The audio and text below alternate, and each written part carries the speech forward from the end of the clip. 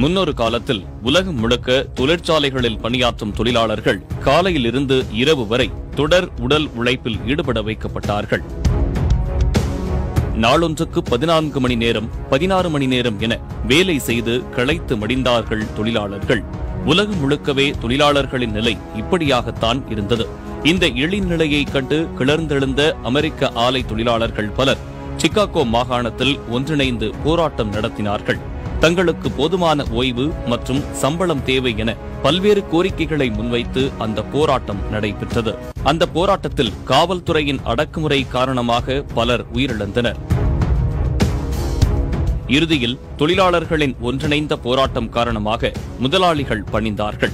தொழிலாளர்களின் உழைப்புக்கும் ஊதியத்துக்கும் மதிப்பளிக்கப்பட்டது. அந்த திருநாளான மே ஒன்றாம் நாளைத்தான் இன்று தொழிலாளர்கள் நாள் என கொண்டாடி மகிழ்கிறோம். இப்போது ஒரு கேள்வி. அமெரிக்காவில் ஏற்பட்ட தொழிலாளர் புரட்சியின் காரணமாக இந்தியாவில் உள்ள தொழிலாளர்களுக்கு முறையான சம்பளம் விடுப்பு என நல்லவை நிகழ்ந்திருக்க முடியுமா? தானாக எல்லாம் மாறிவிட்டிருக்குமா? இல்லை. இந்தியாவில் உழைப்பாளர்களுக்கு சட்ட ரீதியான மதிப்பும் உயர்வும் தானாக வந்துவிடவில்லை.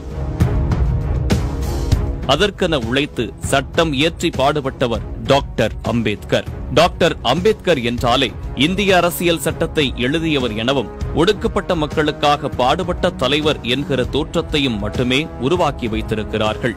ஆனால் அவை மட்டுமே உண்மையல்ல. டாக்டர் அம்பேத்கர் குறித்து பேச இந்த மே நாளும் இன்றியமையாத நாள்தான். டாக்டர் அம்பேத்கர் தனது வாழ்நாளில் தொடங்கிய முதல் அரசியல் இயக்கமே தொழிலாளர் நலனுக்காகத்தான் என்பது நம்மில் எத்தனை பேருக்கு தெரியும்? ஆயிரத்து தொள்ளாயிரத்து முப்பத்தி இரண்டாம் ஆண்டு அம்பேத்கர் முதன் முதலில் தொடங்கிய கட்சியே சுதந்திர தொழிலாளர் கட்சிதான். அந்த கட்சியின் சார்பில் போட்டியிட்ட பதினைந்து வேட்பாளர்கள் வெற்றி பெற்று பம்பாய் சட்டப்பேரவைக்குள் நுழைந்தார்கள். பம்பாய் ஆலை தொழிலாளர்களின் பல்வேறு உரிமைகளுக்காக சட்டமன்றத்தில் குரல் கொடுத்த வரலாற்றை கொண்டவர் டாக்டர் அம்பேத்கர். ஆயிரத்து தொள்ளாயிரத்து முப்பத்தி எட்டாம் ஆண்டு பம்பாய் ரயில்வே தொழிலாளர் அமைப்பின் கூட்டத்தில் அம்பேத்கர் ஆற்றிய உரை இந்திய தொழிலாளர்களின் வாழ்வில் முதன்மைத்துவம் வாய்ந்த உரை. இங்கே உள்ள தொழிலாளர்கள் முதலாளித்துவம் மற்றும் பார்ப்பனியம் இரண்டுக்கும் எதிராக போராட வேண்டியிருக்கிறது என்கிற அம்பேத்கரின் கருத்து மிகவும் இன்றியமையாதது.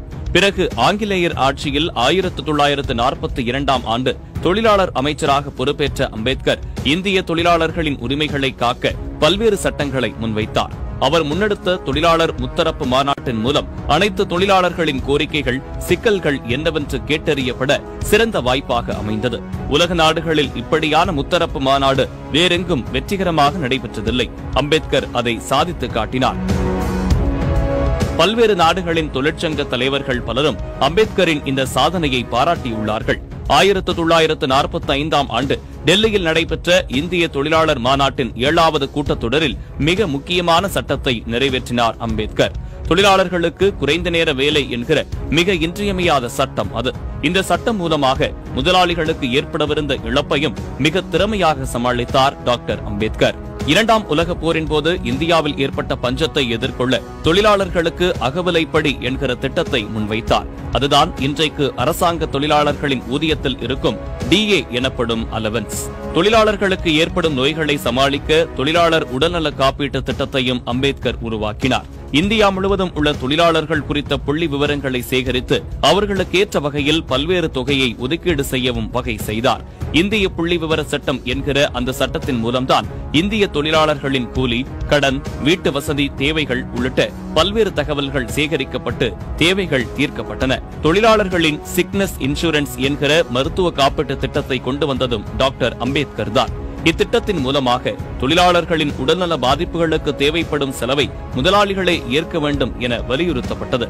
சுரங்க தொழில் போன்ற மிக கடினமான பணிகளில் ஈடுபடும் தொழிலாளர்களின் சேம நலன்களான வீடு குடிநீர் சாலைகள் கல்வி பொழுதுபோக்கு உள்ளிட்ட செலவுகளை சுரங்க முதலாளிகளே ஏற்க வேண்டும் என்கிற மகத்தான சட்டத்தையும் டாக்டர் அம்பேத்கர் உருவாக்கினார். இவை தவிர மாநில தொழிலாளர் காப்பீட்டு திட்டம் அதாவது இஎஸ்ஐ என்கிற திட்டம் ஆசிய நாடுகளிலேயே இந்தியாவில்தான் முதன் முதலாக அம்பேத்கரால் கொண்டு வரப்பட்டது.